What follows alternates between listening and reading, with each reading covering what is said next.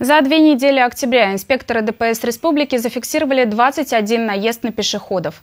Последний случай в Чебоксарах произошел вечером 15 октября.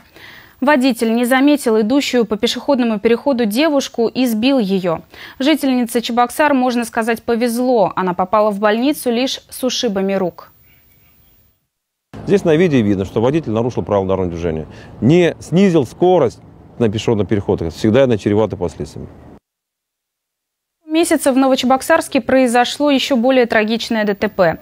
Там на нерегулируемом пешеходном переходе рядом с 25-м домом по улице Советская в вечернее время водитель внедорожника сбил сразу трех девушек. Одна из них скончалась на месте. После данного ДТП нами значит, была проведена дополнительная проверка э, специальным прибором, э, в соответствии с которым значит, э, освещенность приемлемая, допустимая, а именно значит, 14 люксов, при допустимых 13 люксов. Мы внесли некие предложения, конкретные предложения в адрес администрации города в виде того, чтобы они там установили светофорный объект с вызывной фазой для пешеходов.